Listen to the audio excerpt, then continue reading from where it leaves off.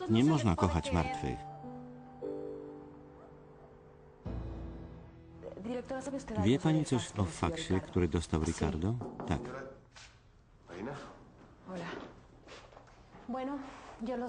Przepraszam, zostawię was samych. Dziękuję. No O co chodzi z tym faksem? Mam go tu. Bardzo necesito Napisał, muszę pilnie wytłumaczyć wam, co się stało z Patty. ¿Qué quiero decir con Co chciał przez to powiedzieć? Musimy poczekać, aż nam to wyjaśni. No tak, nie mamy wyjścia. Chciałem cię przeprosić za wczoraj. Nie musisz. Dzięki Bogu twój syn nie jest ciężko ranny. Nie zmieniłaś zdania? Na jaki temat? Ślubu z Federikiem. No, Ricardo. Wyjdę za mąż i wywiozę y swojego syna z kraju. Moje gratulacje. Rób co chcesz z Federikiem, ale respeto. jest również moim synem. I tu zostanie. Y no. Rozumiesz? Nigdzie nie pojedzie.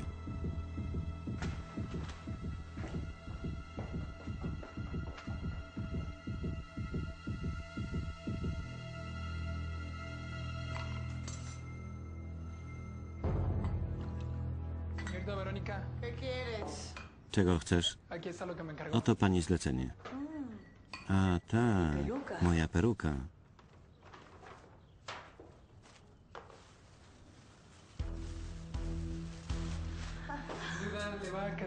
Dobrze pani w niej będzie.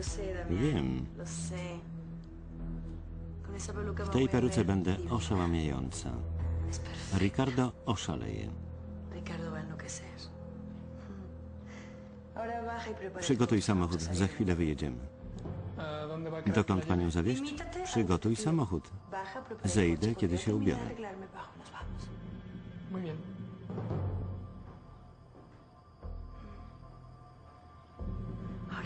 Ricardo. przekona się, kim jestem.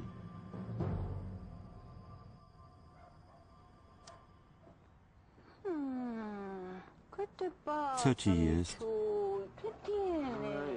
Mamo, tyle kłopotów naraz. Kochanie, powinieneś wyjść z domu.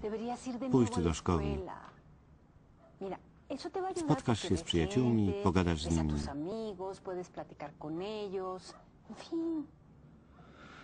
Szkoła przypomina mi hace I to mnie smuci. eh. W jakimś de sensie w szkole będziesz z nią. To trudne, ale sprawisz jej przyjemność. Przecież ona tego pragnęła. ¿Recuerdas que ella Chciała, żebyś skończył szkołę. No, No tak, obiecałem im. Entonces, Więc dobrze, wrócę do szkoły. Grzeczny chłopiec. Szkoda, że nie byłyśmy z Laurą, kiedy składała śluby. Pewnie ma do nas żal. I słusznie. Może odwiedzimy ją w ¿qué sierocińcu. Już jej tam nie ma. Jest w klasztorze. No tak, masz rację. Dostałam od niej adres zakonu, więc możemy ją odwiedzić. Serio? Jak ¿Cómo wyglądam? Nie zauważyłam, kiedy pani ufarbowała włosy. ¿Cuándo se pintó el pelo que no me di cuenta? Ay, Leandra, no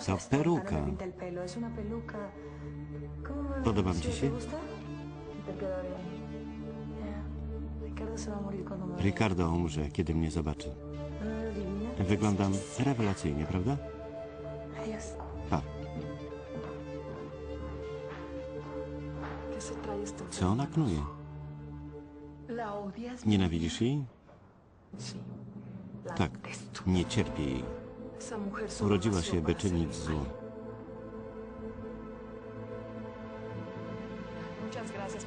Dziękuję, pastoru. Marina nie mówiła, kiedy wróci? Pojechała do szkoły porozmawiać z panem Ricardem. Byleby się tylko nie kłócili. ¿Qué pasó ahora? Co się stało? Pues no sé, Nie wiem. Miałam do ciebie zadzwonić, Matilde. llamar. Hola, hasta ahora. ¿Quieres tomar algo? Napijesz się czegoś? Nie, muszę lecieć. Pojedziesz ze mną do domu? ¿ahorita? Teraz? Możesz? Oczywiście. Wujek nie przyjechał? Nie i nie dzwonił. Będę u cualquier W razie czego avisas,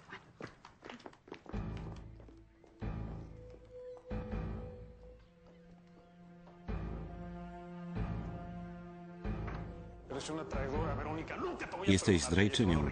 Nie daruję ci, że zawiozłaś Ricarda na rancho. ¿Qué querías? Federico, ¿qué Miałam czekać z założonymi rękoma, kiedy ty uciekałeś z czujem? Przecież się umówiliśmy, ¿Qué quedamos, że co dime. Miało być ręka w rękę. To ty ukradłeś mi kartę porodową, a ja pojechałam za tobą do twojej kryjówki. Wypowiadasz mi wojnę? Nie. Wojna już się zaczęła.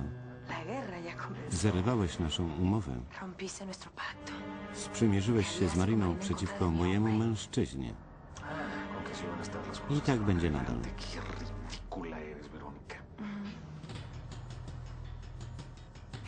Zwalniam cię. Nie proszę, to rozkaz. Nie chcę cię widzieć w tym budynku.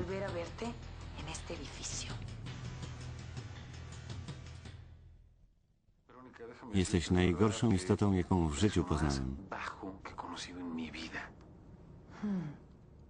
Gorszą od ciebie? No. Zostawmy ten temat. No, no, Ty i ja y jesteśmy siebie warci. Ahora, ¿qué pensando Proponuję ci układ. Damianie, zostaw nas samych. On zostaje. I cóż mi zaproponujesz? Wszystko. cambio W zamian za podpis. Podpiszesz tutaj. En W tym dokumencie jest napisane, że rezygnujesz z czuja i uznajesz ojcostwo y de To i tak nieuniknione. Renunciar może nosić tylko nazwisko Alarcon. Por Dios, Federico. Tú lo sabes. Chuy solamente puede llevar el apellido Alarcón. Oszalałeś. Nigdy nie zrezygnuję z Chuy. Jak mało mnie znasz.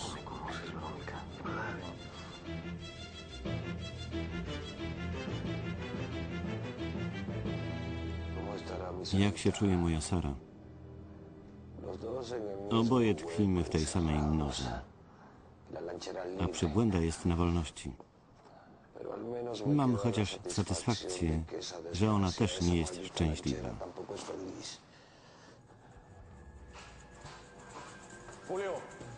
Jakaś pani do ciebie.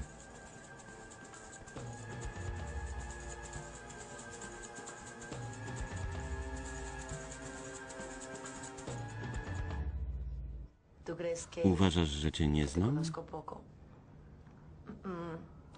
Jeśli chcesz, przypomnę ci tajemnicę, którą ukrywałeś przez tyle lat. Chodzi o Monikę, twoją pierwszą żonę. Milcz la ugryź się w język. Y no Nie znasz mnie. Nigdy nie zdradzę Mariny. Nigdy. Więc zatrzymaj swoją firmę i co tylko chcesz. To mnie nie interesuje.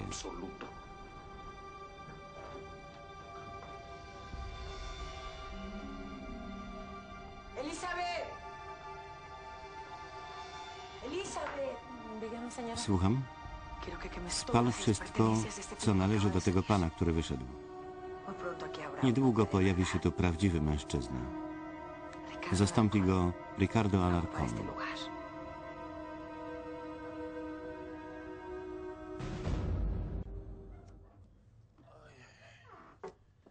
Ya me voy, mamita. Wychodzę.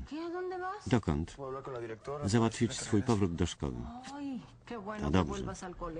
Ale nie wracaj zbyt późno. No. ¿eh? Ostatnio tyle się wydarzyło. No, no Przybiegnę do domu, jak tylko skończę rozmawiać z panią dyrektor.